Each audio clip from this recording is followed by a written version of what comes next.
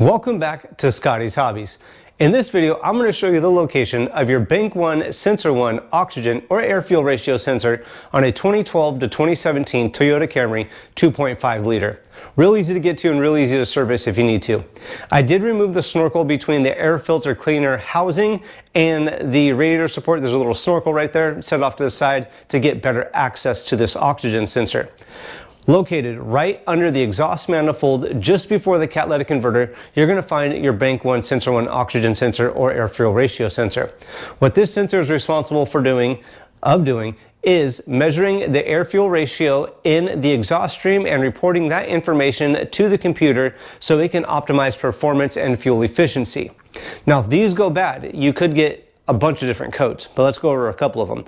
If you're getting a rich or lean code, that could be that your oxygen sensor is actually reading properly and seeing that there is a issue with the performance of the vehicle or the air fuel ratio of the vehicle. So if you have a lean code, you might want to look for exhaust leaks before the oxygen sensor, vacuum leaks on the intake. You might even have poor combustion or compression in the engine, or you might have, sorry, have a stuck or slow performing, uh, what is that called? A fuel injector, sorry.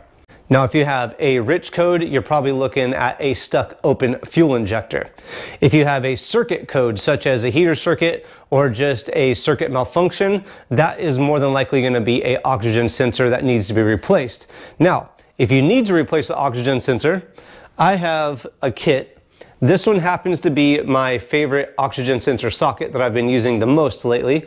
A half inch socket wrench fits inside here and there's a little star so it could fit in in a bunch of different directions so it makes it very very useful uh, much more useful than just the actual square one what this does is slides right over your oxygen sensor like so and grabs onto the hex head of it so you put this on slide it on get your half inch socket wrench or extension get it on here and just turn it and this will loosen it right up Really, really easy to do.